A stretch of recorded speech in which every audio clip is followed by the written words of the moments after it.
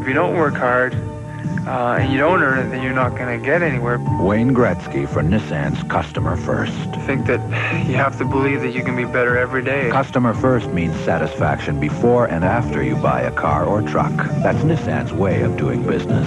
But you have to be that way, and, and it's not lucky, and it's not fate, it's hard work. Customer First is a commitment. Like Nissan's new six-year, 100,000 kilometer no-cost warranty. At Nissan, the customer's first.